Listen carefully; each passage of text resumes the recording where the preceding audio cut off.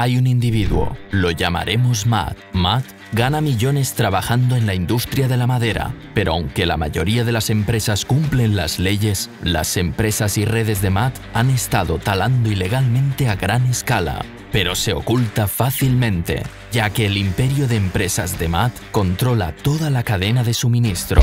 Además, están pagando poco o ningún impuesto, utilizan cuentas bancarias en el extranjero y hacen declaraciones falsas sobre el valor de las reservas de madera, destruyendo hábitats naturales y llevando especies a la extinción.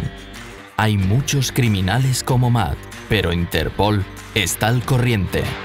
El programa de Interpol sobre seguridad medioambiental trabaja con fuerzas policiales y agencias en los países miembros para ayudar a prevenir, detectar y detener los delitos forestales, desmantelando los grupos criminales detrás de ellos.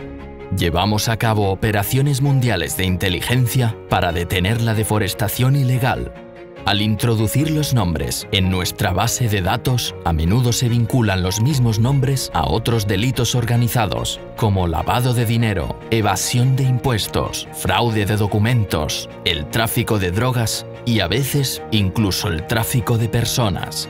Luchamos para que los casos de delitos forestales a gran escala sean tratados como fraude empresarial el delito forestal es el más lucrativo de todos los delitos medioambientales. Tiene un valor de hasta 152 mil millones de dólares estadounidenses cada año. Está explotando un recurso que es vital para nuestra supervivencia y las generaciones futuras. El delito medioambiental es un delito que nos afecta a todos. Por eso Interpol está tan comprometido en combatirlo. Interpol, conectando las fuerzas de la naturaleza.